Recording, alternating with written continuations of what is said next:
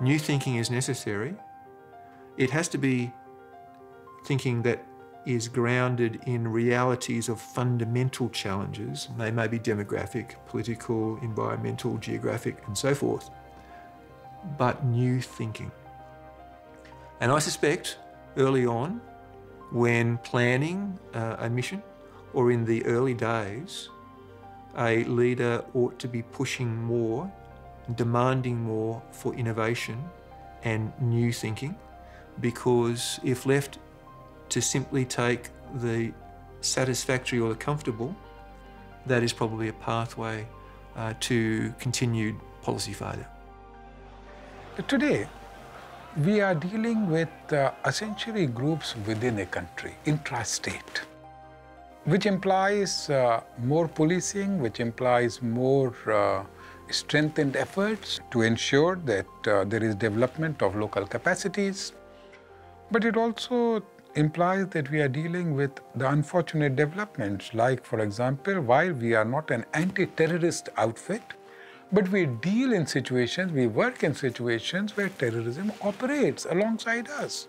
So you talk of technology, but we have to keep abreast with technology in order to avert the disasters which uh, these terrorists can actually inflict upon us. What history shows us is we have to keep a, an open mind to what peacekeeping needs to be. And 10 years ago, we thought it was one thing. In five years, it might need to be something else. What we have seen in the disaster response area is much more tension going on into disaster risk reduction.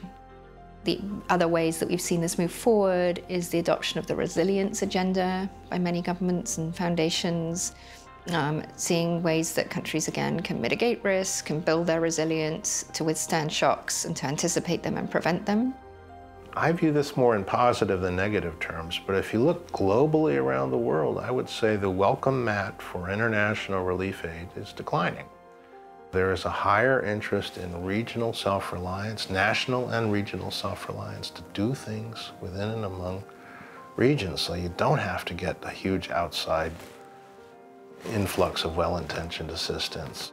We're building the regional pillars of global stability, both in terms of the disaster preparedness as well as the conflict response. We continue, I guess, having had a traditional model of response internationally, we've shifted to an internal response and local government stability uh, and reinstating law and order within a country. So that's a, a, quite a different environment because it takes a long time to rebuild those capabilities. Why wait for exhaustion of capacity?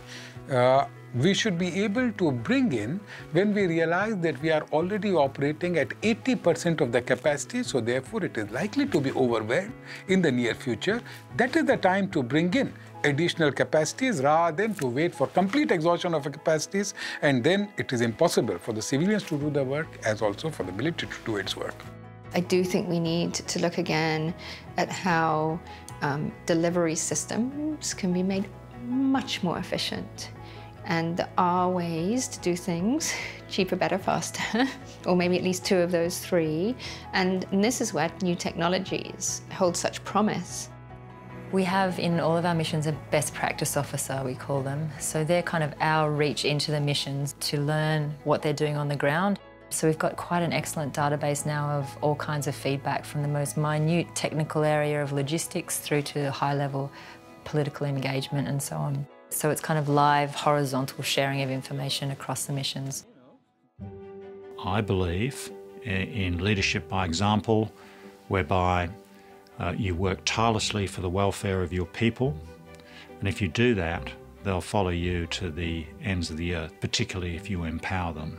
You've really got to sort of trust your own judgment, um, have confidence in the things that you learnt for many, many, many years, um, and use that as a basis to move forward. If we're not prepared to sort of exercise judgment and take informed risk, um, then the, the situation gets away from us. I mean, one of the things I've found over the years which has served me well in, in all the different roles is the ability to self-reflect and learn personally from involvement in any of these situations. Reflect personally, reflect upon the environment, reflect upon what others have said and done and how they've reacted so that you know, we can get better at what we do. Because if we don't, um, as the world moves on, if we keep doing things the same way, we become more and more out of touch as opposed to more and more in touch.